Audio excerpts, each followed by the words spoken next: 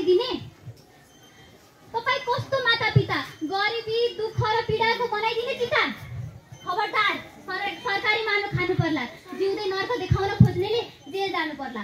धन्यवाद यस कार्यक्रमका सञ्चालक ज्यू यहाँ उपस्थित हुनुभएका यस कार्यक्रमका सभाध्यक्ष महोदय प्रमुख अतिथि र अन्य निर्णायक मण्डल ज्यूहरू र अन्य अतिथि महानुभावहरू।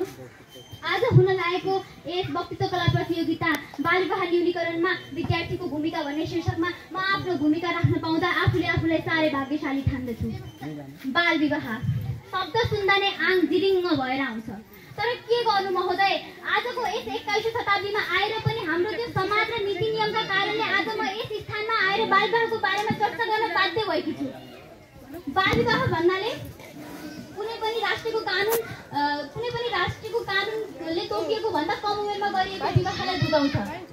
मुलुकी संहिता दुई हजार चौहत्तर दफा एक सय त्रिहत्तर अन्तर्गत बाल विवाह नगर्ने भन्ने घोषणा गरिएको छ। तर नेपालको जनगणना दुई हजार अठहत्तर अनुसार पैँसठी प्रतिशत महिलाहरूले बिस वर्ष नपुग्दै बाल विवाह गरेको देखिन्छ।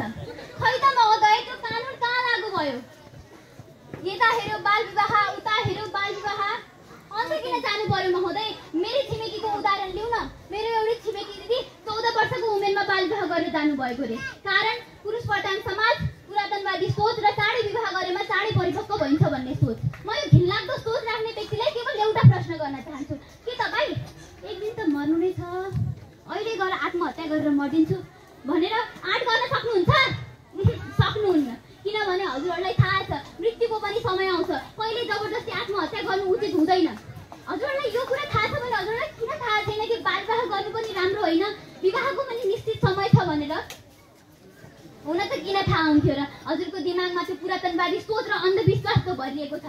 त्यो मेरो छिमेकी दिदी आफ्नो सारा इच्छा आकाङ्क्षा मारेर पढाइ गरेर जानुभयो उहाँको साथीहरूले किताब कलम लिएर स्कुल जाँदा उहाँ घाँस दाउरा गर्न जङ्गलभित्र बस्नुहुन्थ्यो अरे यो कुरा सुन्दा मेरो त मन कति रोयो भनेपछि महोदय तपाईँ आफै सोच्नु न त्यो दिदीको कलिलो आत्मा झन् कति रोएको होला आजको हाम्रो समाजले गरिबी र अशिक्षाको बहाना पारी पारी बाल विवाह गरिदिएको देखिन्छ त्यस कारणले अब हामी नागरिकहरू चुप लागेर बस्नु हुँदैन।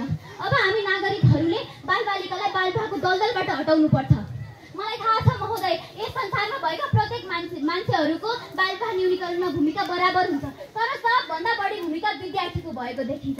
किनभने एउटा किशोर अवस्थाको बालबालिकालाई आफूभन्दा ठुलोले कुरा ठुलोले भनेको कुराहरू भन्दा पनि आफ्नै उमेरकाले भनेको कुराहरू प्रभावकारी लाग्छ। र सबैभन्दा सर्वप्रथम त विद्यार्थीहरू आफै शिक्षित हुनु जरुरी छ। शिक्षित भएन भने त एउटाले बाल विवाह गरिरहेको छ अर्को मजाले रमाइरहेको छ यो शिक्षित विद्यार्थी भएन। त्यसैले सर्वप्रथम विद्यार्थी शिक्षित हुनु जरुरी छ। यस्ता भूमिका अरू पनि छन् जस्तै सडक नाटक रेडियो एफएम र टेलिभिजनद्वारा हामीले जनचेतना फैलाउन सकिन्छ। विद्यालयमा विभिन्न कार्यक्रम जस्तै आज भए जस्तै वक्तृत्व कला प्रतियोगिता वादविवाद प्रतियोगिताका मार्फतबाट जनचेतना फैलाउन सकिन्छ।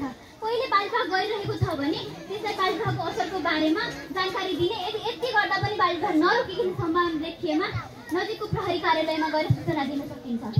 बालविवाह न्यूनीकरणमा लागेका गैर सरकारी संस्थाहरू जस्तै एनजिओ आइएनजिओसँग सह सहकार्य गरेर हामीले बालविवाह न्यूनीकरण गर्न सकिन्छ मलाई थाहा छ महोदय म यहाँ एउटा वक्ताको रूपमा भएर यहाँ उभिएर बालविवाह न्यूनीकरणको भूमिका मात्रै भनेर हाम्रो देश बदलिन्न। हाम्रो देशबाट बालविवाहको शीर्षक हट- हट्दैन।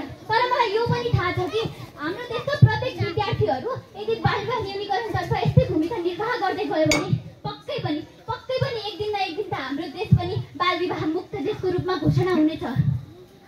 अन्त्यमा के म के भन्न चाहन्छु भने अब हामी जस्ता विद्यार्थीहरू कानमा रुई कोचेर र हात भाँडेर बस्नु हुँदैन। अब हाम्रो हाम्रो देशलाई पनि बाल विवाह मुक्त देशको घोषणा गर्ने अभियानमा लाग्नुपर्छ भन्दै आफ्नो दुई शब्द यही टुङ्ग्याउन चाहन्छु। हस्त धन्यवाद नमस्कार जय बाल बालिका